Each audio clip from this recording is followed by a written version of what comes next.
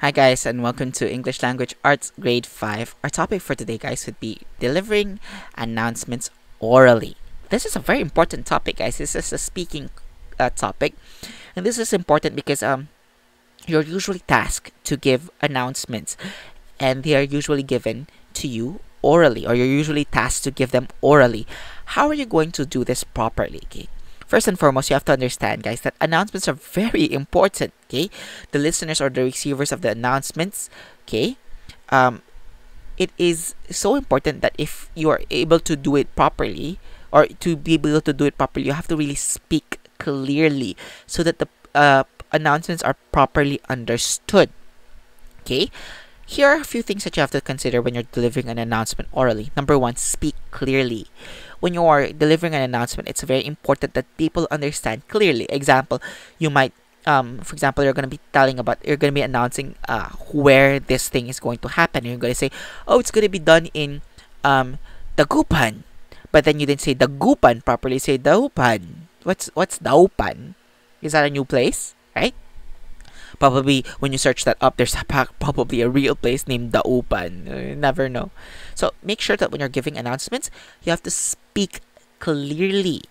Number two, you have to have a slightly higher voice. It's important, guys, so that everyone can hear it even from afar, right? When you speak at a slightly higher voice, it doesn't mean you'll have to scream or shout. Although you can deliver announcements by shouting. But basically, the, the gist here is that you have to speak at a slightly higher voice. So if your normal speaking voice is this, right? You have to make it louder. Alright? Three, be serious and assertive. Announcements are important, like I said a while ago, or like, like what was discussed. And for you to be able to show just how important it is, you have to be serious and assertive. That means no laughing, no giving humorous thing, unless unless the announcement is a happy announcement or a funny announcement, then that's fine. But other than that, right? Be serious and assertive. When I say assertive, that means you have to show that you are not moved, that you can't be swayed. Whatever is being announced, that's it. That's final. And four, you have to first get everyone's attention.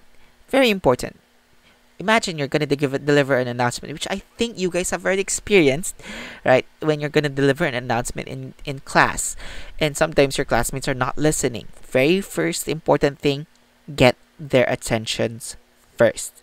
And then you deliver your announcement already.